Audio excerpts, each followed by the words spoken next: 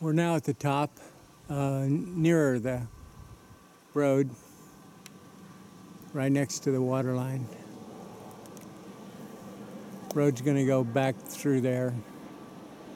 You can hear the traffic straight ahead, probably not more than a couple hundred feet away.